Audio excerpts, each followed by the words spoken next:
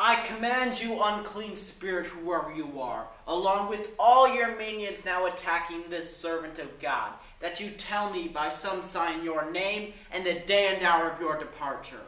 I command you, moreover, to obey me to the letter, I, who am a minister of God despite my unworthiness. Nor shall you be emboldened to harm in any way this servant of God, or the bystanders, or any of their possessions. Now, that's not exactly something you hear every day, unless you're a particularly busy exorcist. A 2016 article from the UK Telegraph reported that the Vatican Church is currently adding more trained exorcists to its ranks. This is to combat the growing rise in demonic possession that they attribute to more people dabbling in the dark arts, thanks to the information readily available on the internet. The practice of exorcism, the driving out of demons that have possessed a human, is not just an interesting premise for a horror film. The 1973 film, The Exorcist, based on the novel by William Peter Blatty, brought intense attention to the practice that endures today. Although my parents have never let me watch The Exorcist, I have an interest in atypical religious practices and in European history. Today, I'll present a brief history of demonic possession, highlight the incident that inspired the novel, and then demonstrate the Catholic ritual. As the demon in Linda Blair said, What an excellent day for an exorcism. Accounts of demonic possession can be found in most cultures and religions throughout history. According to Olga Hoyt, author of Exorcism, there is evidence dating as far back as 3000 BC that exorcists played important roles in ancient Babylonia, Assyria, Egypt, and India. Exorcisms were also performed in Judaism and Islam but the religion most famous for exorcisms is Christianity and Roman Catholicism in particular. According to the Bible, their very first exorcist was Jesus Christ himself. The Bible tells the story of a wild man approaching Jesus for help. When Jesus asked the man his name, he replied, My name is Legion, for we are many. Recognizing this man was possessed, Jesus commanded, Go out of the man, thou unclean spirit! The spirits then left the man and entered a herd of pigs, which then jumped into the sea. In the book Possessions and Exorcisms, author Stuart Callan argues that the practice of exorcism was used by the Catholic Church to, to, to attract many new followers. The ability to cast out demons and cure many of life's problems was a very strong attribute of theirs. This painting by Francisco Goya depicts St. Francis Borgia driving the demons out of a dying man in the mid 1500s. During the European witch hunts, many different forms of exorcism were being used. To combat this, the Vatican Church included a precise ritual of exorcism into the Ritual Romanum, or Roman ritual, in 1614. This laid out the complete script for performing an exorcism and outlined the specific phrases and prayers to perform. To become an exorcist, a priest must be officially ordained by a Catholic bishop even after they become ordained, they still must receive permission before each exorcism. Permission will not be granted unless they can provide indisputable evidence of demonic possession.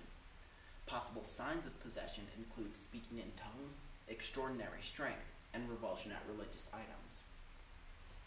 A well documented and inadvertently famous exorcism occurred in 1949 and is detailed in the book Possessed by Thomas B. Allen. 14 year old boy from Maryland was believed to be the victim of demonic possession. The furniture in his house slid across the floor at night. Pictures and chairs moved around. He even started shouting in Latin, a language he had never studied. Doctors could come up with no explanation for these symptoms and suggested he be exorcised. Although the family was Lutheran, their pastor referred them to a priest. Father William Hughes received permission to perform this exorcism from the Archbishop of Washington.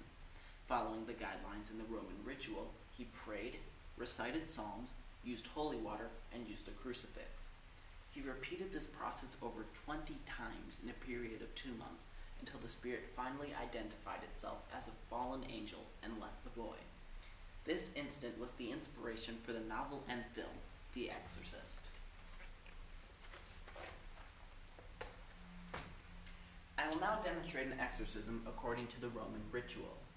We'll assume that I'm a Catholic priest ordained as an exorcist. The troubled person in question has shown signs of possession, such as speaking in tongues and extraordinary strength for her size. She's been to doctors, but they can come up with no explanation for these symptoms. And now the local archbishop has approved the exorcism.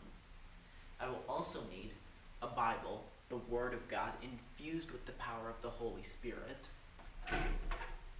crucifix, the primary symbol of Christianity and power of the church, believed to be a repellent of demons, and holy water, which is water that has been sanctified by a priest, used in baptisms and to ward off evil influences. I begin by sprinkling holy water over the possessed and say, Behold water that has been blessed. May life and salvation be ours in the name of the Father, the Son, and the Holy Spirit. Let us humbly implore the mercy of Almighty God, that has passed through the intercession of all the saints, that he will hear the voice of his church for our sister, who is afflicted by dire need. And then I recite the litany of saints. Holy Mary, Mother of God, pray for her. Saints Michael, Gabriel, and Raphael, pray for her. Saint Joseph, pray for her. Saint John the Baptist, pray for her. This part goes on for quite a while, so in the interest of time, I'll skip ahead a bit. The litany is followed by the recitation of one or more prescribed psalms and readings from the Gospels according to John and Mark. In fact, this part is no different from a typical Catholic Mass. The Gospel is followed by the laying of hands. Let your mercy be upon us, Lord, as we have placed our hope in you. Let the enemy hold no advantage over her, nor let the son of iniquity persist in harming her. Then, after reciting the Apostles' Creed and Lord's Prayer, I show the crucifix. Behold the cross of our Lord, begone all hostile spirits. Finally, I launch into a long tirade of imploring God for help and directly commanding the demon to leave. God and Father of our Lord Jesus Christ, I appeal to your holy name, humbly begging your kindness that you grant me help with this and every unclean spirit now tormenting this servant of yours.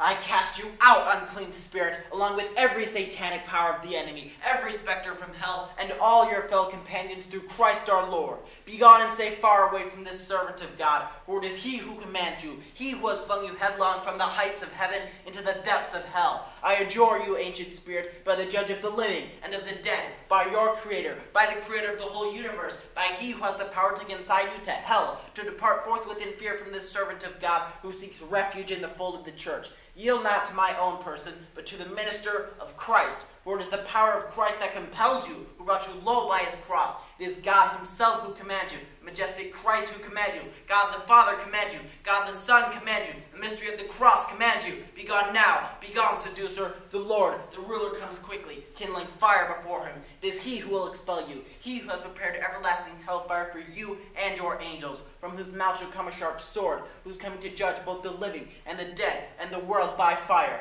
Depart therefore, Satan, in the name of the Father, the Son, and the Holy Spirit. Depart through the sign of the cross of our Lord Jesus Christ, who lives and reigns forever and ever. At this point, if the person is still possessed, the exorcist starts over and repeats as necessary. Now, I know this is not exactly something you're going to go and try at home, but there is still considerable interest in exorcism around the world. The BBC recently reported that the Vatican Church cannot keep up with the growing demand for exorcisms and are currently seeking younger priests willing to be trained in the practice. Today, we examined a brief history of exorcism and I demonstrated an abbreviated version. In spite of the growing demand and the popularity of the films, the practice of exorcism is a serious ritual that is rarely approved and only used as a last resort. But when all else fails,